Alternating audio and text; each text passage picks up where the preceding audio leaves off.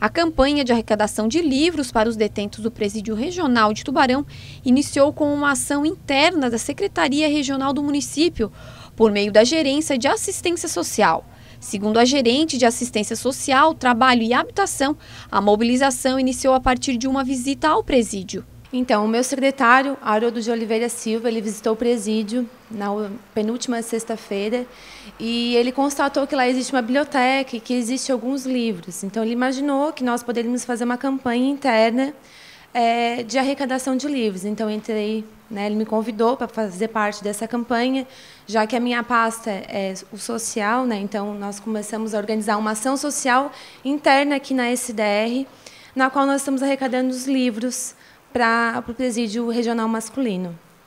O objetivo da campanha é incentivar a leitura dos detentos por meio de doações que podem ser feitas até o fim deste mês na SDR de Tubarão. As pessoas podem doar aqui na SDR, na recepção, possui uma caixa, a gente está arrecadando e todo final do, do, do, dia eu retiro os livros que foram doados. Né?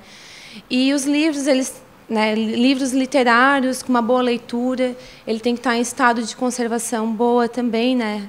Razoavelmente bem, e nada que fale sobre é, é, algo erótico né, e violência, nada que incite nesses dois tópicos. Quanto mais livros a gente arrecadar, melhor.